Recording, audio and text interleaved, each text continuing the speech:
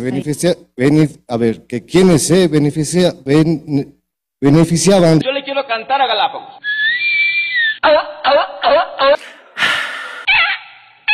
La muerte cruzada es, es, es una medida.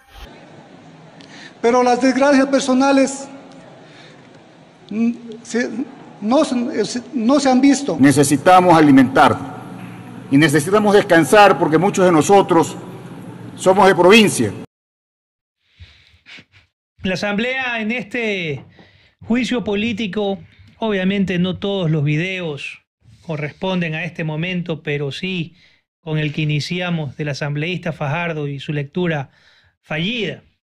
Pero este no solamente ha sido el cuestionamiento, sino el poco conocimiento acerca de lo que significa una glosa, o cuál es el proceso de auditoría para un contrato público.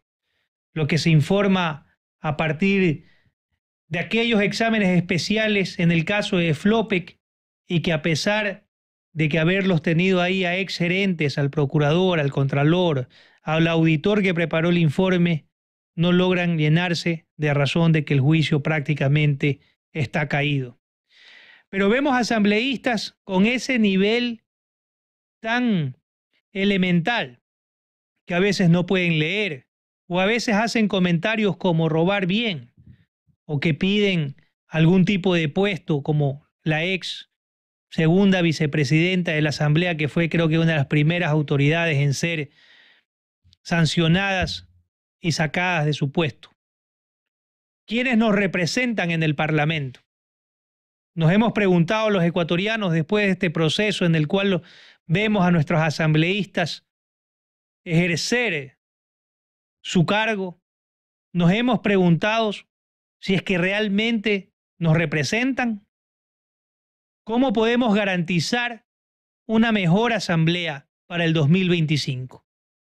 ¿Cómo podemos exigir que los partidos políticos presenten mejores cuadros para que el discurso sea mucho más elevado?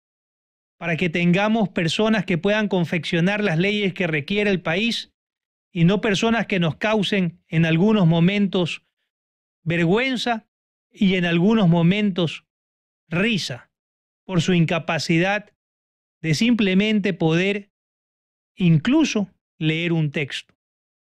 Es realmente preocupante que aquel, aquel cónclave, que aquel seno de los más ilustres ciudadanos que se requieren para poder legislar y fiscalizar en el país esté poblado de mucha ignorancia, de mucha maldad y de mucha limitación. No vamos a lograr mejorar el rumbo y la suerte de nuestro país si es que no tenemos un parlamento más capaz, más preparado y de gente que se tome mucho más en serio su rol y su función. Con esto vamos a seguir viendo probablemente momentos jocosos, momentos también de intensa lucha, incluso hasta ofreciendo llevarse hasta los puños, pero no en el Parlamento, tal vez sí en otro lugar.